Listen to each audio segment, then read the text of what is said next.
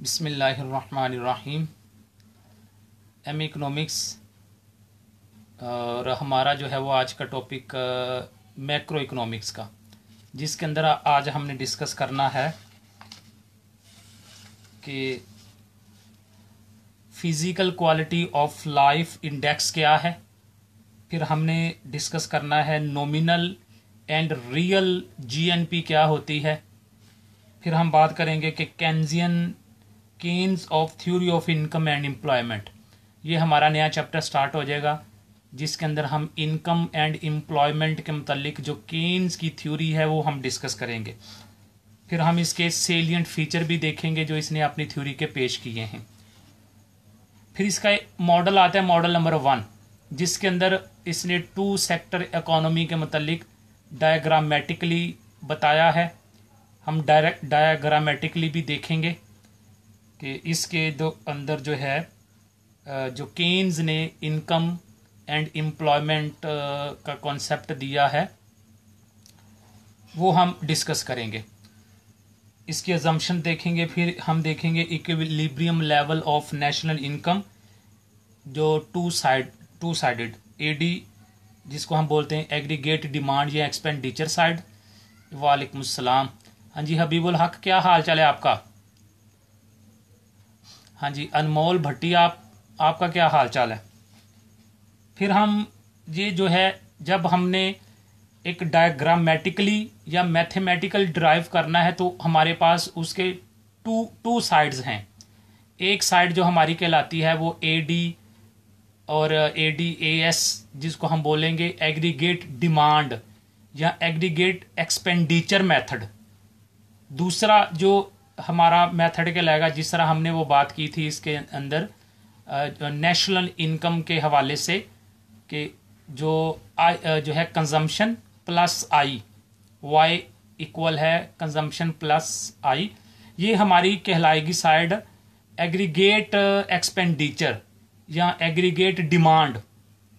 अब दूसरी जो सेविंग आ जाती है, जिसमें हमने बात की थी कि national income is equal, consumption plus saving. अब ये जो सेविंग वाली साइड कहलाएगी, ये हमारी कहलाएगी आउटपुट साइड, सप्लाई साइड। तो हम दोनों तरीकों से, हम इस साइड पे जो है एक्सपेंडिचर साइड, डिमांड साइड, और दूसरी जो है वो आपकी आउटपुट साइड, सप्लाई साइड, दोनों साइडों से हम ग्राम डायग्रामेटिकली भी देखेंगे किस तरीके से जो है इक्विलिब्रियम लेवल आते हैं नेशनल इनकम में। फिर हम मैथमेटिकली तरीके से हम उसको ड्राइव करेंगे, फिर हम इसकी न्यूमेरिकल एग्ज़ाम्पल भी लेंगे। ये हमारे टॉपिक्स हैं जो आज हमने डिस्कस करने हैं। तो मैं आपको जो है ये आपके कॉन्सेप्ट क्लियर करूँगा इसके। और डिटेल में फिर आपने खुद जो है बुक से पढ़ना है। जहाँ से नहीं आपको पता चलेगा, फिर आप मुझसे फिर पूछ लीजिएगा। लेकिन मैंने आपके कॉन्सेप्ट क्लियर करके चलना है। डिटेल जो है वो आप बुक से पढ़ेंगे। चलें हम अब स्टार्ट करते हैं।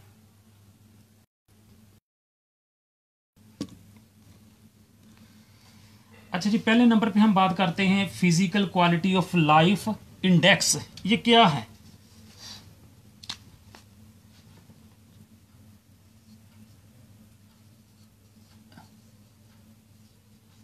Physical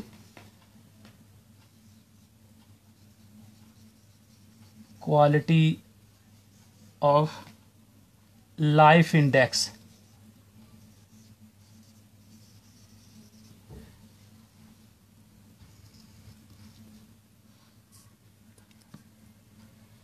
physical quality of life index ये क्या है?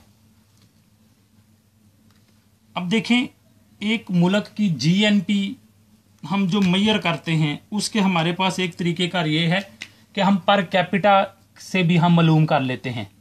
पर कैपिटा इनकम हम पर कैपिटा इनकम उसकी कितनी है? ये एक तरीकेकार होता है, एक मुल्क की जो है इकोनॉमी की ग्रोथ को चेक करने का। अब ये इसमें हम क्या करते हैं, हम ये इसमें लेते हैं कि जो आपकी आउटपुट होती है, उसको हम डिवाइड कर देते हैं पॉपुलेशन पे।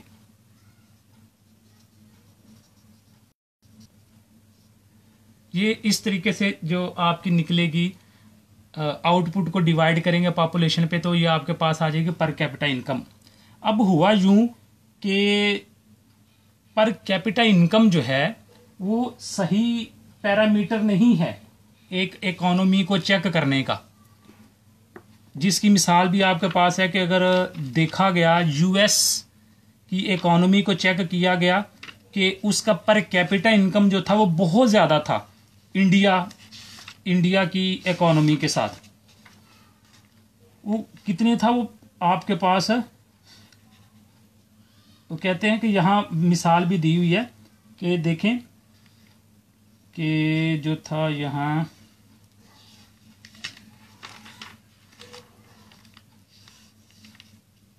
हाँ यहाँ जो देखें। नवा डेज़ अब जो चल रहा है, कहते हैं हाँ यूएस जो जीएनपी था वो कितना था? थर्टी फाइव टाइम मोर था। उसका जो जीएम जीएनपी चेक किया गया जो आ, हमारा जो एक था तरीक़ेकार उससे हमने देखा तो वो ये निकला कि थर्टी फाइव टाइम्स मोर था। लेकिन जब ये एक physical quality of life index से चेक किया गया तो ये सिर्फ़ कितना फ़र्क निकला? 2.5 का फ़र्क निकला। यानी कि 2.5 इंडिया से बेहतर था US ji sir four sector of economy रह गई थी अगर एग्री एग्री थोड़ी सा एक्सप्लेन कर दें डायग्राम बेशक नाम। हाँ वो आपकी हमीद शाहिद के अंदर जो ना वो फोर सेक्टर इकोनॉमी नहीं थी। इस वजह से मैं अब इसको स्किप कर रहा हूँ फिर वो मुझे मिलेगा तो आ, उसको हम बात कर लेंगे। ये फोर सेक्टर इकोनॉमी जो थी ना ये इसमें फोर सेक्टर आ जाते हैं। एक इसमें कंज्यूमर आ जाता है जिसके आपने बात की थी कंजम्पशन और प्लस जो है वो इन्वेस्टमेंट ये टू सेक्टर इकोनॉमी हो गया। ठीक है? फिर हमने आगे बात की थी गवर्नमेंट आ जाती है उसमें। गवर्नमेंट जब इन्वॉल्व होती है तो फिर आपकी थ्री सेक्टर इकोनॉमी हो जाती है। ये मेरे पास जो ना, वो ओल्ड बुक है, जिस वजह से मेरे पास नहीं है। आप मुझे जो ना, वो इसकी पिक्स खींच के सेंड कर दिएगा फिर उसको हम देख लेंगे। अब फोर सेक्टर इकोनॉमी के अंदर आपकी आ जाती है इंपोर्ट एक्सपोर्ट आ जाती है। इंपोर्ट एक्सपोर्ट जब आ जाती है तो फिर हम वो हमारी फोर सेक्टर इकोनॉमी कहलाती है। जी, जिसको हम जो है ना, वो फिर एक सर्कुलर फ्लो के अंदर देख लेते हैं। फिर वो आगे इसके जो है, वो मैथमेटिकल तरीके से डेरिवेशन भी हो जाएगी। चलें, वो फिर आप मुझे सेंड कर दीजिएगा, फिर उसको हम देख लेते हैं। ये, अब इसका जो हम बात कर रहे हैं, कि ये फ़िज़िकल क्वालिटी जो है फ़िज़िकल क्वालिटी जो है ना, कुछ आपकी चीज़ें हैं जिस वजह से आप चेक करते हैं एक मुल्क की ग्रोथ इसके अंदर आप देखें जिस तरह के nowadays the economists are using a new measure no known as P Q L I which is preferred over G N P measure it is also because that it includes infant mortality अब इसके अंदर क्या क्या आयत है? Physical जो है आपकी फ़िज़िकल ये क्वालिटी ऑफ़ लाइफ इंडेक्स के अंदर आप क्या क्या चीज़ें मेजर करते हैं? इसमें एक आप चीज़ ये चेक करते हैं इन्फेंट मोर्टेलिटी रेट जो शीर खार हैं, उनके मरने का रेट क्या है? लाइफ एक्सपेक्टेंसी लाइफ एक्सपेक्टेंसी ज़िंदगी की जो जो है एक्सपेक्टेशन कितनी है? लिटरेरी रेट भी इसमें आप चेक करते हैं। रेशो आप चेक करते हैं, आपने जो शीर खार बच्चों को जो वैक्सीनेशन दी है उसकी कितनी रेशो है? फिर आप चेक करते हैं participation of people in economic and political affairs ये कि लोगों का कितना उसमें जो है पार्टिसिपेशन है। पॉलिटिकल अफेयर में और इकोनॉमिक में। तो अब आप कहते हैं 1977 के अंदर US GNP was 35 times more than that of India 35 गुना ज़्यादा थी इंडिया से जीएनपी जो थी। But following P Q L I US was better than India by 2.5 कि सिर्फ़ अढ़ाई गुना बेहतर था अगर आप physical quality of life index से चेक करें। यहाँ तक क्लियर हो गया बात? पर कैपिटल इनकम निकालने का भी मैंने आपको तरीका बता दिया आउटपुट को डिवाइड कर दें पॉपुलेशन के साथ। ये बाकी आपने उसको पढ़ लेना है। अगली हम बात करेंगे कि नॉमिनल और रियल जीएनपी क्या होती है। कॉन्सेप्ट को समझें। असल चीज़ बाकी जो है फिर आप बुक से उसको स्टडी कर लीजिएगा। Nominal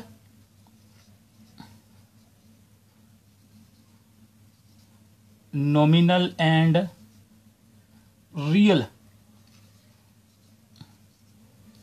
G N P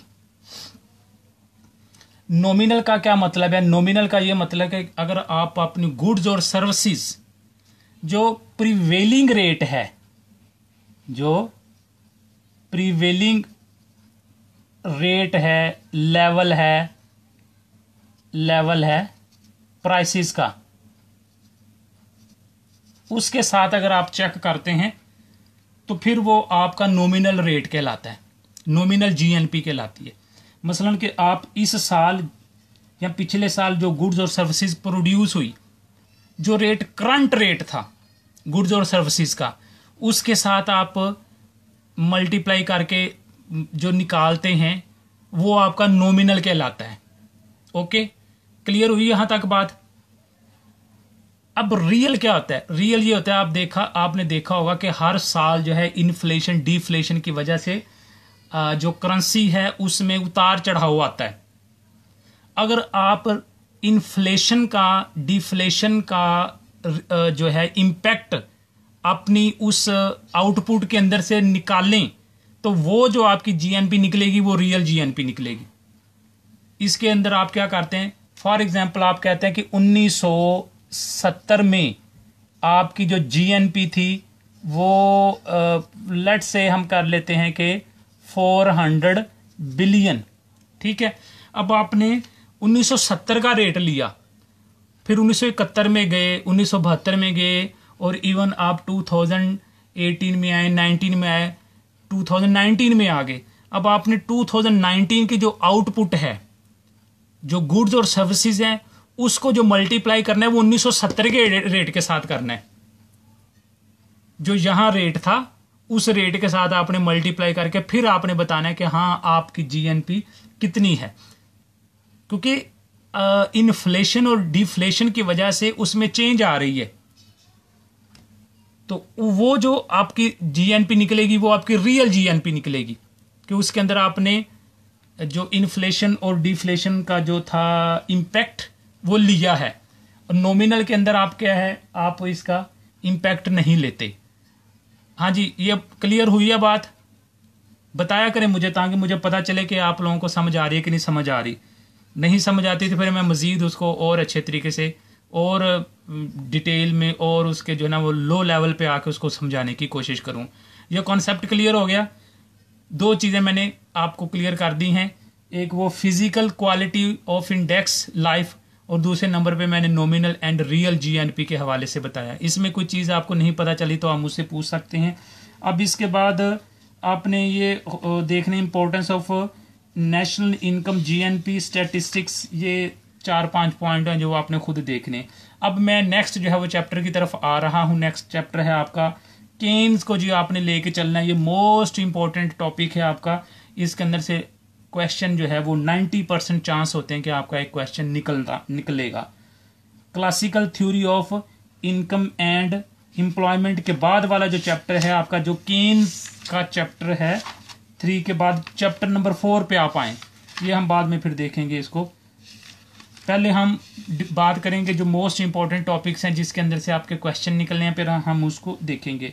chapter number four मेरे पास है, वो है Keynes theory of income and employment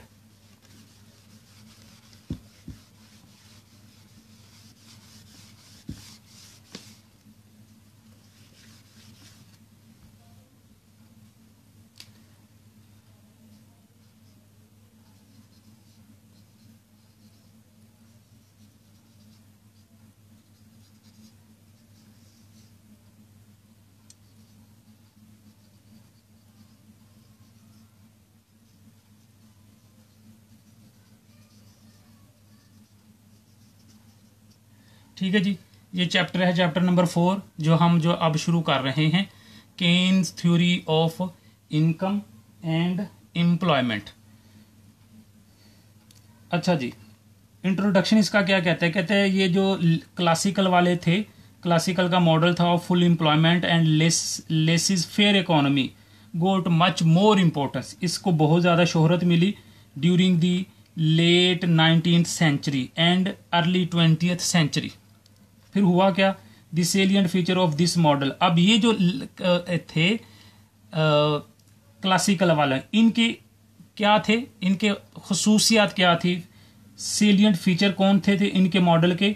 Was existing of full employment ये कहते थे कि फुल एम्प्लॉयमेंट है which could only be obtained through the automatic adjustment mechanism in labour market goods market and credit market कहते हैं, ये खुद ब खुद ही जो है एडजस्ट हो जाती है, इसके अंदर जो है करना कुछ नहीं पड़ता। ये इनके कुछ थे feature salient feature in other words ये लोग क्या कहते थे क्लासिकल वाले कहते थे the full employment of human and natural resources is brought through the competitive forces of demand and supply in the presence of a free enterprise economy.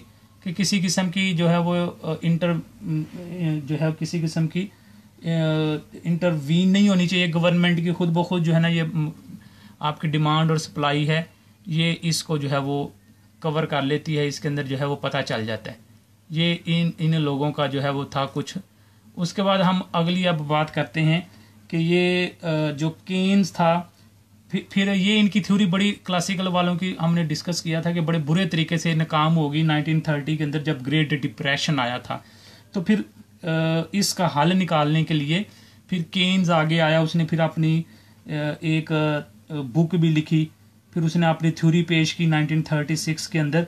और अब वो उसके जो है सेलियंट फीचर हम देख लेते हैं जो आगे चल के पूरे जो है आपके चैप्टर के अंदर जो है ये इस्तेमाल होंगे। सेलियंट फीचर ऑफ़ क्या है इसके Keynes theory income and employment पहले नंबर पे केन्स कहता है, हम पॉइंटों के सर में थोड़े थोड़े जो है पॉइंट इसमें लिख लेते हैं जहाँ। पहला पॉइंट कहता है Keynes presented a concept of determination of equilibrium level of national income according to Keynes equilibrium level of national income take place where aggregate demand is equal to aggregate supply इसने एक concept इस्तेमाल किया equilibrium इसने जो है वो equilibrium level of national income का इस्तेमाल किया। Equilibrium level of national income इसने ये इस्तेमाल किया equilibrium level of national income कहते हैं ये कहाँ होता है? जहाँ कहता है एग्रीगेट डिमांड इक्वल हो जाए एग्रीगेट सप्लाई के। ठीक है जी? क्लियर होगी बात? Equilibrium level of national income कहाँ आएगा? According to Keynes equilibrium level of national income take place where aggregate demand is equal to aggregate supply ये इसका जी पहला पॉइंट था। दूसरे नंबर पे दूसरी बात क्या उसने की है? दूसरे नंबर पर कहता था equilibrium level of national income में भी अब ये जो equilibrium level of national income है, ये कहता है क्या है be may be at full employment may be at above full employment अब ये जो लेवल है नेशनल इनकम का इक्विलिब्रियम लेवल है नेशनल इनकम का वो कहता है कि ये आपका जो है फुल एम्प्लॉयमेंट के बराबर भी हो सकता है। ठीक है?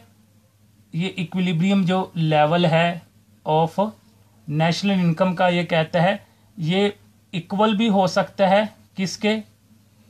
इसके फुल एम्प्लॉयमेंट के। फुल एम्प्लॉयमेंट के इक्वल भी हो सकता है अबव भी हो सकता है और लोअर भी हो सकता है। रहेगा वो इक्विलिब्रियम लेवल इक्विलिब्रियम लेवल रहेगा नेशनल इनकम का, लेकिन वो फुल एम्प्लॉयमेंट पे भी हो सकता है। इस पे इस पे जो आपकी एम्प्लॉयमेंट है वो अबव भी हो सकती है। फुल एम्प्लॉयमेंट अबव भी हो सकती है और लोअर भी हो सकती है। ठीक है? फिर देख लें। At be at full employment may be at above full employment and may be at below full employment. According to Keynes the full employment correspond to the situation of maximum possible level of national income अब ये full employment क्या है? Full employment के कहते हैं कि full employment उस वक्त है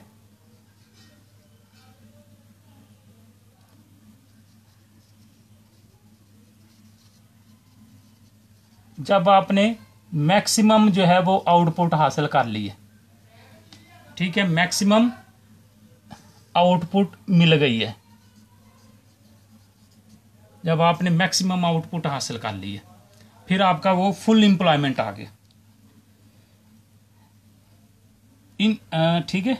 In other words full employment represents the maximum level of output which could be obtained by utilising all the natural and human resources full employment का ये मतलब है कि आपने मैक्सिमम लेवल की जो आउटपुट है वो हासिल कर लिया। अब इससे ज़्यादा आप आउटपुट नहीं ले सकते। ये फुल एम्प्लॉयमेंट आपका कहलाया। ठीक है? Employment represent maximum level of output which could be obtained by utilising all the natural and human resources of economy Thus, if in the level of full employment, aggregate demand is equal to aggregate supply, the equilibrium level of national income will be maintained at full employment. ठीक है? अब इस level के ऊपर आपकी aggregate demand बराबर हो जाए एग्रीगेट सप्लाई के तो फिर क्या होगा कि ये आपका जो है इक्विलिब्रियम लेवल आ जाएगा किसका? नेशनल इनकम का। If the level of full employment A D is more than S अब दूसरी वो बात कर रहे हैं कि आपका ए डी जो है मोर हो जाए एग्रीगेट सप्लाई से। ठीक है? आपका ज़्यादा हो जाए सप्लाई से तो फिर अगर आप ग्रेटर देन हो जाए एग्रीगेट सप्लाई से, फिर अच्छा if at the level of full employment aggregate demand is ये हो गया if at the level of full employment aggregate demand is more than aggregate supply the equilibrium level of national income will take place at above full employment तो फिर आपका ये बात आपने करनी है equilibrium level of national income equilibrium level of national income अगर aggregate demand ज़्यादा हो गई है एग्रीगेट सप्लाई से तो फिर आपका जो हो जाएगा ये जो equilibrium level of national income है ये अबव हो जाएगा फुल एम्प्लॉयमेंट के अगर आपकी ये हो गई ठीक है? अब इसी तरीके से इसको अपोजिट करेंगे तो फिर वो हो जाएगा लेस के साथ हो जाएगा। अगली बात whenever at the level of full employment aggregate expenditure exceed the aggregate output the demand of goods and uh, will will increase this situation profit और प्रोड्यूसर विल इंक्रीज। अब इस सिचुएशन में क्या एग्रीगेट डिमांड ज़्यादा है aggregate supply कम है तो उसका जो प्रोड्यूसर का प्रॉफिट है वो इंक्रीज होगा। इंक्रीज होगा तो फिर वो क्या करेगा? अपनी प्रोडक्शन को बढ़ाएगा। In this situation the profit of producer will increase for the sake of more profit they will increase investment as a result national income will increase ठीक है?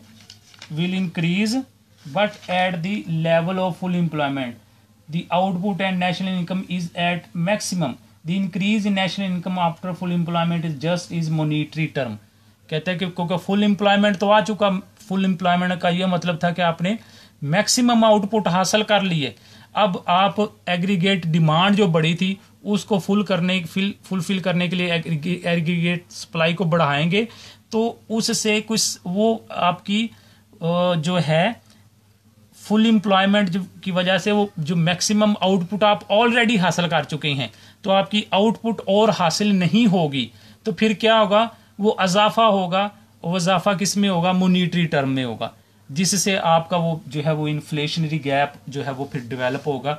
ये आगे चल के हम बात करेंगे इसके इन्फ्लेशनरी गैप फिर इसने जो है आगे कॉन्सेप्ट दिया जी इफ़ेक्टिव डिमांड का।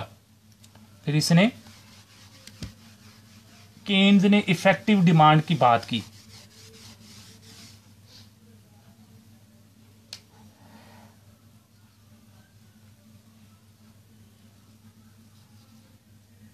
इफ़ेक्टिव डिमांड हाँ जी समझ आ रही है ना बात की जो मैं करवा रहा हूँ? नहीं पता चल रहा तो पूछ, पूछा करें मुझसे जहाँ से आपको नहीं पता चलता। जहाँ से नहीं पता चलता तो साथ साथ मुझसे पूछा करें। जब तक आप फीडबैक नहीं देंगे, मुझे कुछ नहीं पता चलना, मुझे यही पता चलना है, आपको समझ आ रही है, बस। मैं ये समझ रहा हूँ कि जब तक आप कुछ मुझसे बोलेंगे नहीं, पूछेंगे नहीं, इट्स मीन कि आपको समझ आ रही है। मैं ये कंसिडर करूँगा। अच्छा अब इसने कॉन्सेप्ट एक दिया, वो दिया इसने इफ़ेक्टिव डिमांड का दिया। अब वो इफ़ेक्टिव डिमांड क्या है? Keynes introduce the idea of effective demand by effective demand he means the aggregate demand the aggregate supply इसने कहा कि इसका मतलब जो है वो इफ़ेक्टिव डिमांड से क्या है? एग्रीगेट डिमांड है और एग्रीगेट सप्लाई है and the level of national income है। तीन चीज़ें, ठीक है? इफ़ेक्टिव डिमांड से मुराद उसकी जो है एग्रीगेट आपकी एग्रीगेट डिमांड और एग्रीगेट सप्लाई और तीसरे नंबर पे जो इसने बात की वो की उसने नेशनल इनकम अब इन तीनों की बात होगी इफ़ेक्टिव डिमांड में। ठीक है? इफ़ेक्टिव डिमांड का जो कॉन्सेप्ट उसने दिया, क्या दिया उसने? एग्रीगेट डिमांड एग्रीगेट सप्लाई और नेशनल इनकम अब देखते हैं इसमें क्या वो कहता है। Keynes says that higher the level of effective demand अगर ये इफ़ेक्टिव डिमांड आपकी हायर हो गई है तो फिर higher the level of effective demand in the country तो फिर higher will be the level of income and employment in the country तो फिर ये इनकम जो है वो हायर हो जाएगी। एम्प्लॉयमेंट भी हायर हो जाएगी। ठीक है? This also mean that it is deficiency of effective demand which is responsible for unemployment कहते हैं अगर इफ़ेक्टिव डिमांड है तो फिर aggregate demand aggregate supply national income ये सारी की सारी बढ़ जाएँगी। आपकी एम्प्लॉयमेंट भी बढ़ जाएगी। अगर एम्प्लॉयमेंट नहीं बढ़ रही, ठीक है, फिर फिर सुने। देखें केन्स क्या, यहाँ था। Keynes says that higher the level of effective demand in the country higher will be the level of income अगर हायर इफ़ेक्टिव डिमांड है तो फिर higher level of income income and employment. आपका ये पूरा चैप्टर इनकम और employment पे चलेगा, ठीक है? तो अगर हायर है आपकी इफ़ेक्टिव डिमांड तो फिर हायर है इनकम और हायर ही आपकी इंप्लॉयमेंट है कंट्री में। अगर इनकम और इंप्लॉयमेंट हायर नहीं है तो इसका मतलब है आपकी डिमांड जो वो इफ़ेक्टिव नहीं है, ठीक है? This also mean that it is the deficiency of effective demand which is responsible for unemployment in the country ठीक हो गया?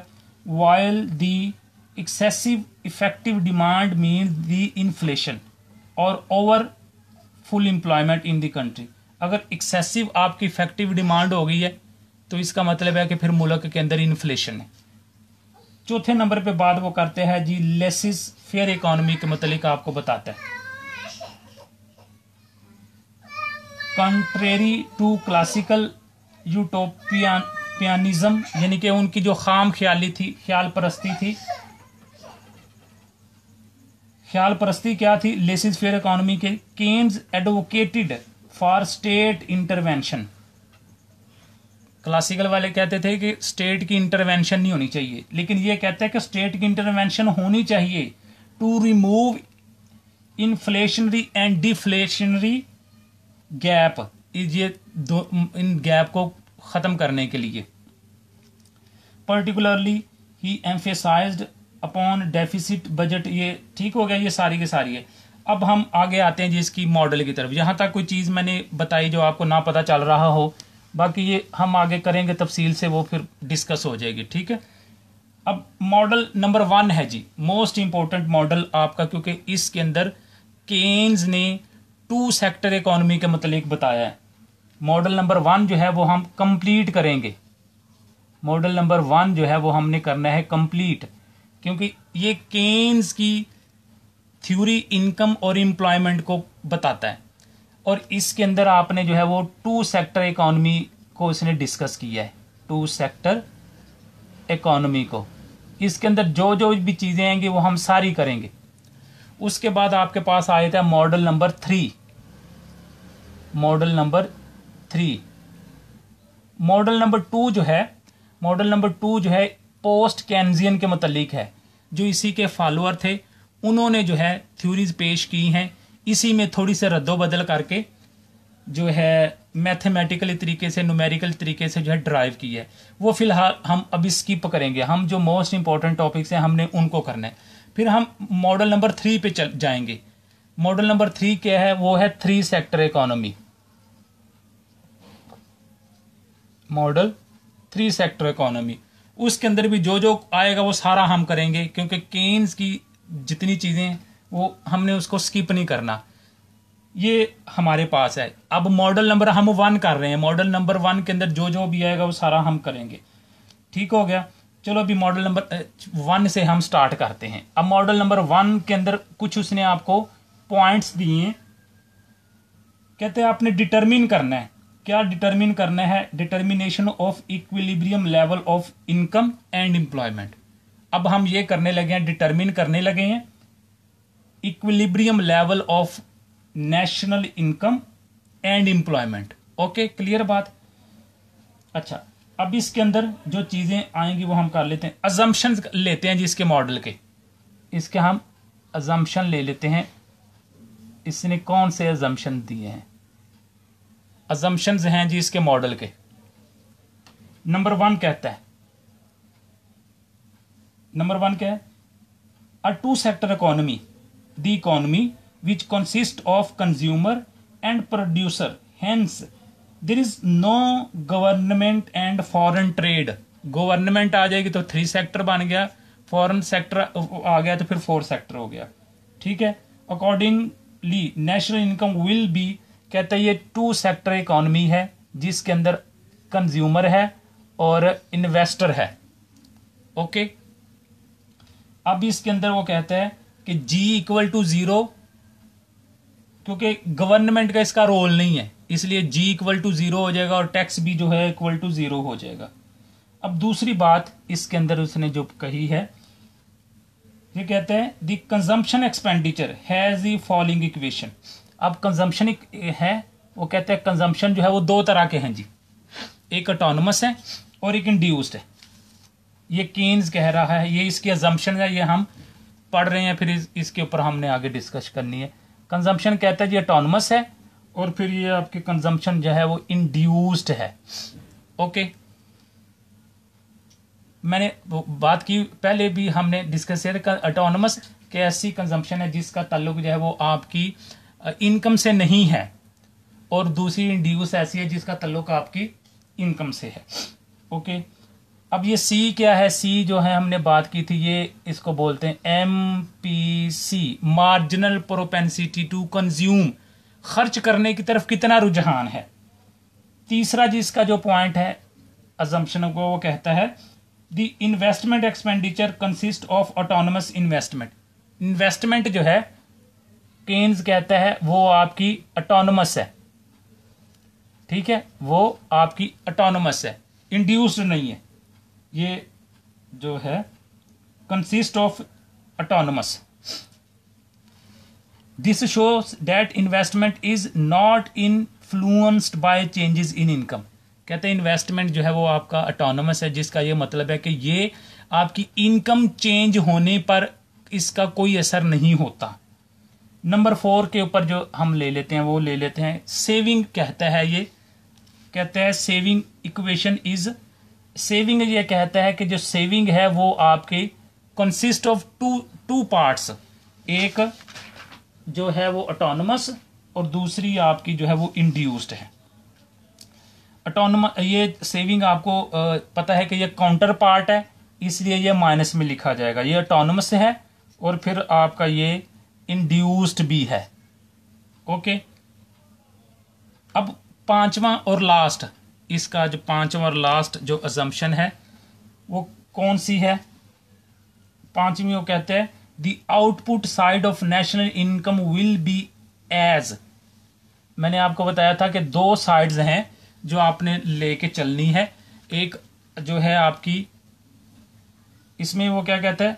आउटपुट साइड वो आपकी सी प्लस आई दो आएँगी एक आपकी कहलाएगी जिसको हम बोलेंगे ए डी ठीक है? ए डी या फिर A D and aggregate demand aggregate supply aggregate demand इसको बोलें या फिर इसको uh, जो है इसको एक्सपेंडिचर भी बोलते हैं.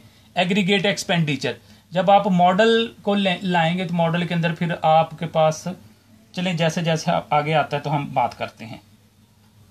अच्छा ये एक बात होगी, ठीक है? ये आउटपुट साइड वो कहता है कि आपकी इस पे होगी।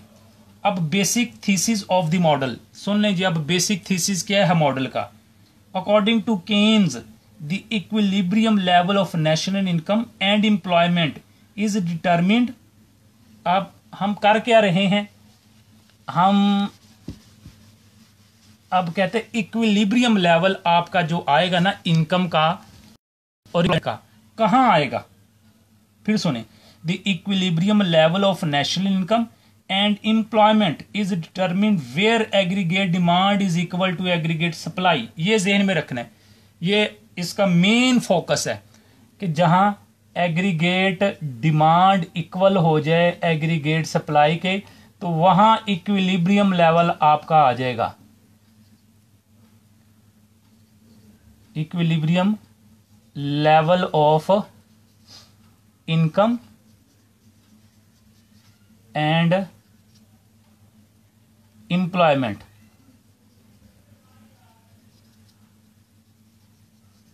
equilibrium level of income and employment कहाँ आएगा? जहाँ एग्रीगेट डिमांड हो जाएगी इक्वल एग्रीगेट सप्लाई के। ओके क्लियर है बात? अच्छा अगली बात सुने। Is equal to aggregate supply ठीक है एग्रीगेट डिमांड से मुराद जो है वो है आपके एग्रीगेट एक्सपेंडिचर है। और एग्रीगेट जो सप्लाई है, उससे मुराद आपकी आउटपुट है। ओके? अब इसको इस तरीके से हम लिखते हैं। ये टू सेक्टर इकोनॉमी है। आपका मॉडल वन जो है वो टू सेक्टर इकोनॉमी जो भी हमने डिस्कस करनी है टू सेक्टर इकोनॉमी ये C plus I okay? Equal हो जाए आपका C plus S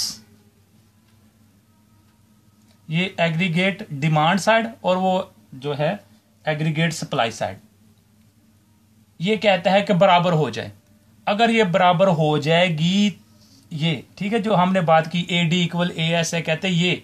A D aggregate demand aggregate expenditure जो है आपके C plus I aggregate supply C plus S ये अगर इक्वल हो गए तो फिर आपका इक्विलिब्रियम लेवल आ गया है। किसमें? इनकम में और इंप्लॉयमेंट में। यहाँ तक आपको नहीं पता चला तो मुझसे पूछ लें। ओके? अच्छा अगली बात। फ्रॉम दी अबव प्रोपोजिशन अगर हम इसको थोड़ा सा सिंपल करें, आप देखें। ये आपका सी बी कांस्टेंट है, इसमें कॉमन है सी भी कॉमन है। इसका मतलब अगर हम ये ख़त्म हो जाए एलिमिनेट हो जाए तो आपके पास क्या बचा? आई इक्वल एस दूसरे लफ्ज़ों में वो कहता है, भाई, आपकी जो इन्वेस्टमेंट है, वो आपकी सेविंग के बराबर होनी चाहिए, जो आप सेव कर रहे हैं। अगर आपकी वो अगर आपकी जो आपने सेव किया है, वो आपकी इन्वेस्टमेंट के इक्वल होगा तो फिर इक्विलिब्रियम होगा इनकम में और एम्प्लॉयमेंट में। ठीक है जी? Thus we see that there are two approaches to present equilibrium level of national income आपके पास दो अप्रोचेज हैं जी। पहली अप्रोच आपकी A D and A S method कहलाएगी। पहली अप्रोच आपकी आ जाएगी A D and A S ठीक है? दूसरी आपकी अप्रोच जो कहलाएगी, वो कहलाएगी लीकेजेस लीकेजेस क्यों हुआ? आपकी सेविंग की वजह से। आपने सेव किया। सेव किया, आपने खर्च नहीं किया, क्योंकि वो खर्च करेंगे तो दूसरे की इनकम बनेगा ना। तो आपने वो लीकेजेस आ गई। और फिर ये इन्वेस्टमेंट हुई। इन्वेस्टमेंट का मतलब है आपने इंजेक्शन लगाया। दूसरी अप्रोच आपकी आ जाएगी लीकेजेस एंड इंजेक्शन अप्रोच और ये आपका जो है वो टॉपिक भी पूछा हुआ है उसने आउटलाइन के अंदर कि लीकेजेस एंड जो है आपकी इंजेक्शन बताएँ। अब ये दो तरीके से पहले पहले नंबर पे हम मालूम करेंगे। इसकी जो है डिटर्मिनेशन करेंगे नेशनल इनकम डिटर्मिनेशन हम करेंगे national income with these two approaches first diagrammatically diagram के तौर पे डायग्राम के अंदर हम कैसे लेते हैं। फिर हम इसको जो है मैथमेटिकली तरीके से ड्राइव करेंगे। ठीक है जी? चलें जी, हम पहले स्टार्ट करते हैं इससे। Equilibrium level of national income चलें, आप इस तरह करें कि इसको आप पढ़ लें। कल इंशाल्लाह ताला जो है फिर हम डायग्रामेटिकली और फिर जो है इसके मैथमेटिकली तरीके से जो है इसको फिर डिस्कस करेंगे। ये आपने जो पढ़ना है, अब आपने क्या पढ़ना है? आपने ये पढ़ना है next topic equilibrium level of national income AD AS method aggregate demand ठीक हो गया, फिर उसके बाद एग्रीगेट सप्लाई फिर आपके पास आपने पढ़ना है डिटर्मिनेशन वो अलग अलग फिर आपने इनको इकट्ठा करना है इधर आके। डिटर्मिन डिटर्मिन करना है आपने equilibrium level of national income दोनों को इकट्ठा करके। फिर आपका, आपने बताना है कि जी equilibrium level of national income दूसरी दूसरी जो अप्रोच है, वो कौन सी थी? हमारी लीकेजेस और इंजेक्शन यानी कि एस आई अप्रोच भी उसको बोलते हैं। उस तरीके से आपने बताना है कि किस तरीके से ये इन्वेस्टमेंट क्या है, ये टोनमस है टोनमस है, इसका मतलब है फिक्स है, ये चेंज नहीं होगी। सेविंग है फिर आपकी, फिर इन दोनों को आपने इकट्ठा एक डायग्राम के ऊपर शो करके फिर बताना है। फिर हमारे आगे मैथमेटिकल जो है वो अप्रोच शुरू हो जाएगी। तो ये चीज़ें जो है वो आपने कल पढ़ के रखनी है ताकि मैं थोड़ी थोड़ी हिंट दूँ और हिंट दे के मैं फिर आगे जो है इसको लेके चलता चला जाऊँ। यहाँ तक कोई चीज़ आपको ना समझ आई हो, आप मुझसे पूछना चाहते हैं तो मुझसे पूछें। मैं आपकी वो क्वेरी जो है उसको सॉल्व करूँगा। कोई चीज़ पूछने वाली तो नहीं, ये जो आपने पढ़ा है इसमें किसी चीज़ की आपको ना समझ आई हो। सारी चीज़ें ओके हैं? चलें जी, ठीक है। मज़ीद आप जो है वो मेरी जो है वो उस, इस वीडियो को क्लोज करने तक जो है वो मुझसे मेरी इस वीडियो को क्लोज करने तक आप मुझसे पूछें, जो आपकी क्वेरी है, जो आपको प्रॉब्लम है इन ताला वो भी मैं बता देता हूँ। ये चीज़ें आपने पढ़ कर रखनी है ताकि मैं स्पीडली जो है आपके सिलेबस को आगे लेके चलूँ। अच्छा अब एक आजकल जो बहुत ज़्यादा ट्रेंड चल रहा है पेपर कैंसिल हो गया पेपर कैंसिल हो गए। आप इस चीज़ से बाहर आ जाएँ। पेपर आपके होने होने हैं। आपने एम के पेपर देने हैं, कोई आपने मैट्रिक के पेपर नहीं देने। मैट्रिक के या आप मिडिल के आपके पेपर नहीं है कि आपको प्रमोट हो जाएँगे। आप जिस यूनिवर्सिटी से पेपर दे रहे हैं, वो वर्ल्ड रैंकिंग में आता है उसका नंबर और वो तो जो है मजीद दिन ब दिन जो है ना, अपने आप को इम्प्रूव कर रही है वर्ल्ड रैंकिंग में। तो ये कैसे हो सकता है कि वो जो ना आपको जो ना प्रीवियस रिज़ल्ट के साथ जो है ना वो प्रमोट कर दे। ऐसा नहीं होगा। आपके पेपर होने हैं। हाँ थोड़ा लेट हो सकता है, लेकिन आप लेट के चक्करों में ना पड़ें। आप जो है ना विद इन टाइम जो है अपनी स्टडी को कंप्लीट करें। अब उसका ये तरीक़ेकार ये है कि पहले आप फॉरेन ऑथर्स को, अपने पहले जो ना लोकल ऑथर को पढ़ लें। जिस तरह मैं अब आपको हमीर शाही से तैयारी करवा रहा हूँ, पहले आप इसको पढ़ लें। जल्दी पढ़ लें इसको। और इसके साथ जो है, अगर आपको टाइम मिलता है तो फिर आप फॉरेन ऑथर को इसमें अटैच कर लें, जहाँ आपको कॉन्सेप्ट नहीं पता चल रहा। लेकिन पहला काम यह है कि पहले आपने अपनी तैयारी मुकम्मल कर लें। जो नोट्स आपने बनाने हैं, जो पॉइंट्स आपने बनाने हैं, वो सारे के सारे आप इससे बना लें, क्योंकि इतना टाइम नहीं होता। मजबूरी के तहत फिर हमें इसी को पढ़ना पड़ता है, क्योंकि इसने जो है, जो टॉपिक्स दिए होते हैं, वो टू दी पॉइंट हैं। जो आपके सिलेबस को वो टच कर रहे होते हैं। इसलिए जो जो इम्पोर्टेंट टॉपिक्स हैं जिसमें से आपके क्वेश्चन निकलेंगे, वो हम पूरा पूरा चैप्टर ही करेंगे। क्योंकि बाज़ का तो ऐसा होता है कि वो टॉपिक आपका जो ना आउटलाइन में नहीं आया होता, लेकिन वो पेपर में आ चुका होता है। इसलिए फिर हम इस कन्फ्यूज़न से, इस एम्बिग्यूटी से बचने के लिए फिर हम वो पूरा पूरा टॉपिक कर लेंगे। इसलिए सबसे पहले जल्द कोशिश करें जल्दी से इसको जो है हमीद शाहिद को ख़त्म करें। और इसके पॉइंट्स वगैरह बनाएँ और अपना माइंड वही रखें जून जून का ही। जून जुलाई में जो आपके पेपर होने थे जू, जून के सेकंड वीक में पार्ट टू के थे और एंड पे या जुलाई के स्टार्ट पे आपके पार्ट वन के शुरू होने थे आप अपना माइंड वही रखें। आप इस चीज़ के ऊपर फोकस ना करें जी कैंसिल हो गए कैंसिल हो गए। आप अपने तरीके से उसको तैयारी करें लेकिन अब थोड़ा सा आप ये एक काम कर लें कि अब आप जो है उसको डिटेल से पढ़ना शुरू कर दें। क्योंकि मुमकिन है कि आपका जो है वो सब्जेक्टिव पोर्शन सब्जेक्टिव के साथ ऑब्जेक्टिव पोर्शन भी कुछ शामिल किया जाए। टाइम को जो है सेव करने के लिए ताकि चेकिंग प्रोसेस आसान हो जाए, जल्दी हो जाए। उसके लिए मुमकिन है कि 50 परसेंट आपका सब्जेक्ट सब्जेक्टिव कर दिया जाए या 50 से भी कम आपका सब्जेक्ट सब्जेक्टिव हो जाए। कोई 30 परसेंट जो है वो आपका सब्जेक्टिव करके सेवेंटी परसेंट जो है वो आपका एम कर दिया जाए। ये सिचुएशन भी हो सकती है। और ऐसा भी हो सकता है कि आपके दो दो तीन तीन पेपर इकट्ठे भी ले लिए जाएँ। कुछ भी प्रोसेस हो सकता है कुछ भी स्ट्रेटजी हो सकती है।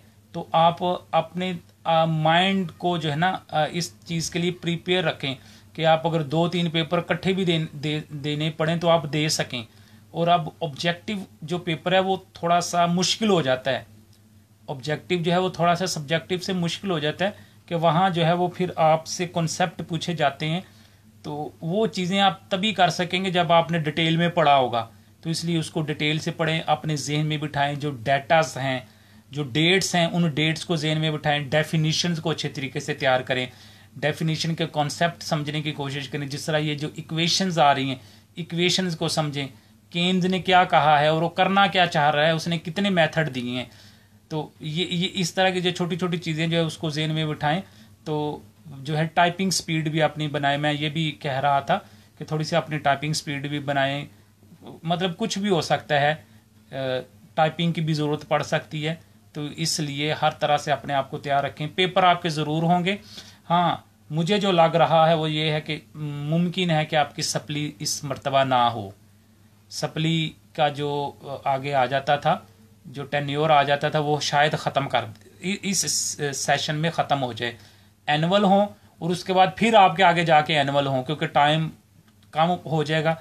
अगर टाइम कम हो जाता है तो फिर वो सप्ली को दरमियान से स्किप भी कर सकते हैं। लेकिन पेपर आपके होने ही हैं। ये अपने अच्छे तरीके से जेन में बिठा लें। कॉन्सेप्चुअल स्टडी किया करें।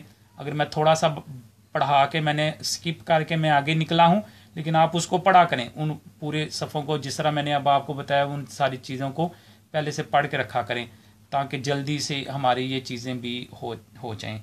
आई होप कि आपको जो है वो समझ आ गई होगी। और हबीबुल हक, आप जो है ना वो स्टडी के अंदर मुझे सीरियस नहीं लग रहे।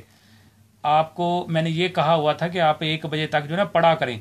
एक बड़े, बजे तक पढ़ें और मुझे फिर साथ रिपोर्ट किया करें कि आपने क्या पढ़ा है। वो मुझे मैसेज करें। कि जो कुछ आपने पढ़ा है और उसके बाद मस्ट करें अपनी नाइट सैटरडे जो है वो फुल नाइट स्टडी ये दो चीज़ें आपने करनी है, ठीक है? जो जो मैं आपको इंस्ट्रक्शन दे रहा हूँ, उन इंस्ट्रक्शन के ऊपर जो है ना वो स्ट्रिक्टली जो है वो उस पर फॉलो करें। इन दोनों के बगैर काम नहीं चलना। खाली मुझसे पढ़ लिए है आपने, खुद आपने पढ़ लिया, आप कहेंगे कि आप पेपर में जाके बैठ जाएँ। वो वो बैठ तो आप जाएँगे, लेकिन फिर वो काम वो पूरा पूरा ही होगा। कि ठीक है जी, आप कुछ थोड़ा बहुत हला के आ जाए पेपर को, कोई पासिंग मार्क्स मिल जाए। अगर आप अच्छे नंबर चाहते हैं तो फिर उसके लिए फिर आपको एफर्ट करना पड़ेगी। उसके लिए मैंने आपको बताया है कि आप एक डेढ़ बजे तक जो है इन रमज़ान टाइमिंग के अंदर और आफ्टर रमज़ान टाइम एक डेढ़ दो बजे तक अपनी स्टडी का अपना जहन बनाए और शुरू करें उसको। वक्त गुजरता जा रहा है और जो सैटरडे नाइट आ रही है, वो आपने फुल नाइट स्टडी करनी है। और अगले दिन जो है, फिर मुझे आप बताया करें कि आपने क्या पढ़ा है, ताकि मेरे इलम में हो और फिर मैं आपको नए नए जो है वो स्ट्रेटजी दूँ। फिर आपको तरीके बताऊँ कि आप इस तरीके से स्टडी को करें, ये बुक कर लें, ये कर लें।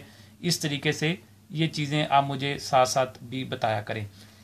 तो बाकी डे सीरीज़ की जितनी भी वीडियो अपलोड हो चुकी हैं, आप लोग भी पढ़ रहे हैं तो उसको एक मरतबा बाद में भी देखा करें। बाज़ कहा था पढ़ते पढ़ते जो ना, बंदे का पता नहीं चलता किसी चीज़ का। तो फिर इसलिए उसको बाद में वीडियो देख के जो इसके अंदर पॉइंट्स होते हैं, उन पॉइंट्स को लिख लिया करें। तैयारी तो कर रहा हूँ। तैयारी आप ठीक है, कर रहे कर रहे हैं, लेकिन अब टाइम बहुत शॉर्ट है। टाइम शॉर्ट के अंदर जो है, हमें ज़्यादा ज़्यादा चीज़ चाहिए। ज़्यादा जो है वो स्टडी चाहिए और जल्दी ख़त्म हो जाए। और इस तरीके से आपका ख़त्म हो, कि आपकी रिवीजन हो। तो फिर वो जो नाइट स्टडी होती है, वो उसका अल्टरनेटिव नहीं होता। दिन में आप जितना मर्ज़ी भी पढ़ते रहे ना तो रात की जो स्टडी होती है, वो बिल्कुल सुकून होता है। उसके अंदर शोर शराबा नहीं है। हाँ चलें मैनेज करें। जॉब भी आपकी ठीक है आप, लेकिन फिर भी जो ना, ये एक दिन अपना ज़रूर रखें। फिर आप सैटरडे नाइट जो है ना, वो फुल नाइट करें, क्योंकि उसमें आगे आपके संडे की छुट्टी है। तो ये काम जो है ना फिर आपने मस्ट करना है। क्योंकि आगे संडे की छुट्टी होगी तो सैटरडे नाइट जो है ना वो फुल नाइट आप पढ़ें, जितना आपने पढ़ा है उसको आप करें। ठीक है? और बाकी ये बाकी ये जो तमाम जो वीडियोस हैं, मेरा जो ये प्लान है कि ये डे सीरीज़ के नाम पे जो है आपकी टोटल जो है वो स्टडी हो जाए। और ये सारी की सारी स्टडी जो है वो एक महफूज हो जाए। ताकि कोई भी जो नॉर्मली अक्सर जो है वो फिर, जो गर्ल्स हैं वो फिर इन वीडियोस को देख के इन इंस्ट्रक्शंस को देख के फिर वो स्टडी करती हैं। तो इसलिए डे सीरीज़ के अंदर जो है वो आपकी कंप्लीट स्टडी जो है इसमें मैं कंपाइल करूँगा। तो जितने भी जो है वो वीडियो देखने वाले हैं तो वो इससे प्रीवियस जो वीडियोस हैं डे सीरीज़ उसको जो है वो फोकस करें और वो सारी की सारी वीडियो जो है वो आप उसको देखें। आप लोग भी जो पढ़ रहे हैं तो ये स्टडी होने के बाद भी आप एक मरतबा वीडियो को ज़रूर देखा करें। उसके अंदर पॉइंट्स वगैरह लिखें। इन ताला हमारी जो है, ये डे सीरीज़ के नाम पे जो है, वो कंप्लीट जो है, वो स्टडी इसके अंदर कंपाइल होगी, जिसके अंदर मुख्तलिफ़ जो है टॉपिक्स है, वो मैं कवर कर रहा हूँ। फिर जितना जितना ज़रूरत महसूस करता हूँ बुक को भी फिर मैं चेंज कर रहा हूँ। ठीक है जी, आपने जो है कल जो है वो फिर सैटरडे आ रहा है। कल आपने फिर मुझे बताना है कि आपने क्या पढ़ा है, ठीक है? ये आपने मस्ट करें, क्योंकि एक्स्ट्रा टाइम देंगे तो काम चलना है, ठीक है? तो जॉब वाले जो है वो कम से कम एक नाइट तो ज़रूर लगाए ना। सैटरडे नाइट जो ना वो फुल ज़रूर होनी चाहिए, ठीक है जी? आई होप कि ये जो मैंने आज आपको पढ़ाया है, ये आपको समझ आ गई होगी। ये तमाम वीडियोस जो है वो आप यूट्यूब चैनल के अंदर डे सीरीज़ के नाम पे M economics slash day series के नाम पे प्लेलिस्ट बनी हुई है। प्लेलिस्ट के अंदर ये तमाम और इससे प्रीवियस जो हमने लेक्चर्स पढ़े हैं, जो हमने स्टडी किया, वो वहाँ से आपको मिल जाएगी।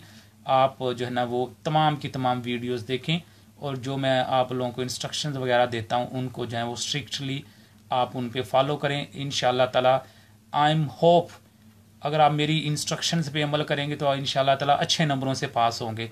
क्योंकि मैं समझता हूँ जहाँ जहाँ जो जो चीज़ की रिक्वायरमेंट होती है, ज़रूरत होती है तो आप उस, उनको फॉलो करें। और उसमें सबसे बड़ी जो चीज़ मैंने जो नाइट स्टडी कहा है, वो अपने ऊपर ज़रूर आप लोग करें। सैटरडे नाइट जो है वो ज़रूर कंप्लीट स्टडी करें। बाकी इन ताला आप देखेंगे जो अच्छी जो है वो आपकी तैयारी हो जाएगी। उम्मीद है कि जो है वो आपको ये वीडियो भी अच्छी लगी होगी। इन ताला नेक्स्ट जो मैंने ऑलरेडी टॉपिक्स बता दिए, उसके ऊपर हम इन ताला डिस्कस करेंगे। बेस्ट ऑफ़ लक एंड अल्लाह हाफिज़